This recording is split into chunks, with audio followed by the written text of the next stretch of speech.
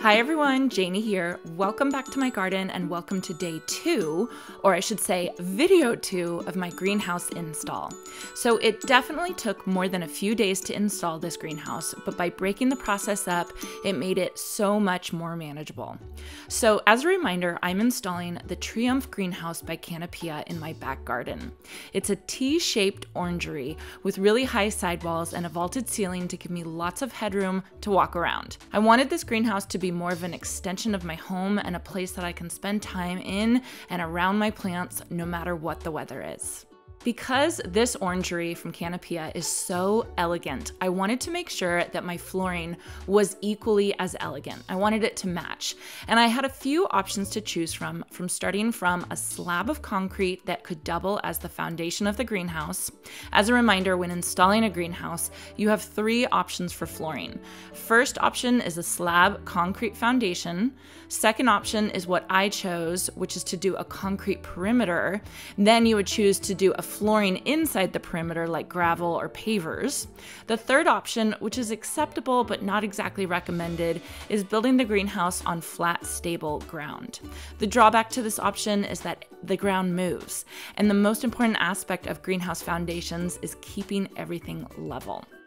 So, like I said, I decided to go with the perimeter foundation. I actually have a video showing how I did that linked in the description down below. I was able to pour my foundation even before the greenhouse was delivered to me because the specifications are clearly laid out on Canopia's website. So it was easy to build the foundation even before the greenhouse arrived. Now I had to decide what I wanted to put inside the perimeter of my foundation. I had to get inspiration for greenhouse flooring, so I headed to Pinterest. With a quick search of greenhouse flooring, there's so many beautiful options to choose from, but I was looking for something that was elegant enough to stand up to the beauty of this orangery, but still easily installed by myself and a little bit of help and within my budget. And let me tell you all, when I saw this picture, I stopped my scrolling immediately and knew it was perfect. This inspiration picture was my jumping off point for my greenhouse flooring, and that was a diamond checkerboard pattern of concrete pavers mixed with gravel. As a reminder, the rest of my pathways in my garden are going to be a decomposed granite, which fits in perfectly with my California garden. So I wanted to make sure that the gravel that was in between the pavers meshed well with this decomposed granite. So, with a few calls to landscape companies around me, I found out that you can actually purchase granite pebbles that are larger than decomposed granite, but the same material from the same quarry so that it will match the pathways perfectly. So, once I learned this, I was off and running.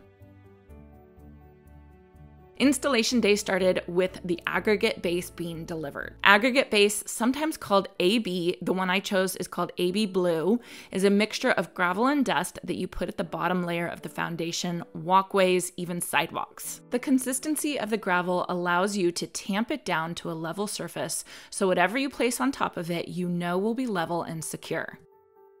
We started our day with moving the aggregate base from the pile where it was dropped off into the greenhouse, a job made significantly easier thanks to the skid steer I rented. I'm telling you all, I used that skid steer as much as I could when I had it at my house, and next time I rent it, I will do the same.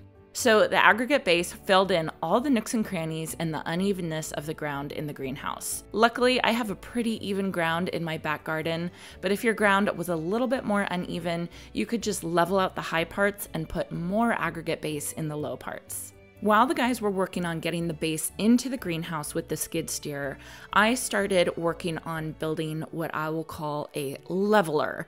Uh, you can also call it a screeder, which is kind of more of a concrete term. You'll see what I'm talking about once I make it. The pavers that were going to go on top of the base foundation were about two inches tall, so we needed to bring the level of the aggregate base up to two inches below the top of the concrete perimeter.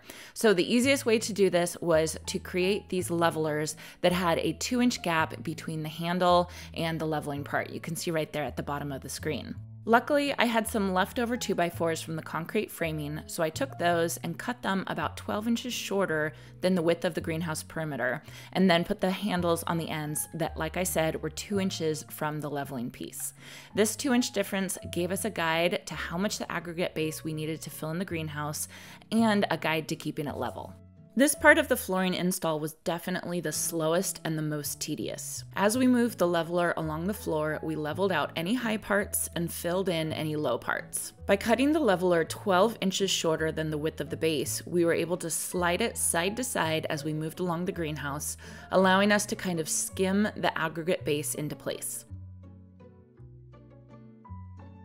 You can see here how the leveler helped us fill the base to the perfect level, two inches below the top of the concrete, just enough to fit the pavers so the pavers will come right up to the top of the concrete. So it'll be an equal level flooring that nobody's gonna stub their toe on. Like I said, this was the most tedious part of the whole process, but I do think it's the most important part. To make sure we had a really secure foundation, we misted the aggregate base with water and tamped it down. The tamping tool is an extremely heavy tool, and you basically drop it on the base to compact the layer down. The water sets the aggregate base into place to give it an even more stable base layer. We slowly and meticulously worked along the flooring, tamping the base down, then checking the level of the base with the leveler. If there were any gaps, the tamping process created a low point and we could see it with the leveler. Fill it in, re-tamp it, then move on. The tamping tool was very, very heavy, so to save our backs, the three of us took turns tamping. Many hands make light work. Now, on to the fun part. We started laying out the pavers in a diamond pattern. I knew I didn't want to cut the pavers, so I positioned them so there was a slight gap around the edges. This would get filled in with the gravel in the end, so I was okay with that rather than going through the hassle of cutting pavers that probably wouldn't cleanly cut anyway. It took some finessing to perfectly line up the pavers. If they were crooked in any way at all, you could see along the diagonal that something was off. Luckily, Isaac is a bit of a perfectionist, so he was checking each paver to make sure it was lined up exactly.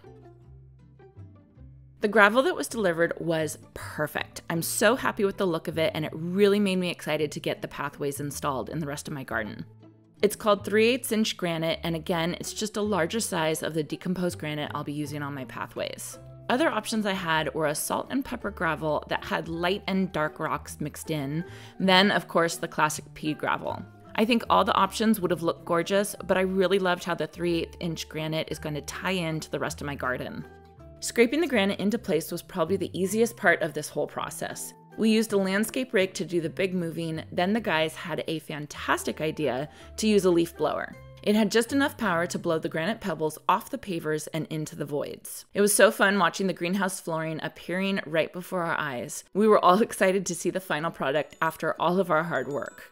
So I've got the foundation poured, the flooring in. Next step is actually installing the greenhouse. Stay tuned for tomorrow's video to see the greenhouse in all its glory. I hope you all enjoyed this and I hope you all have a chance to get in your garden today.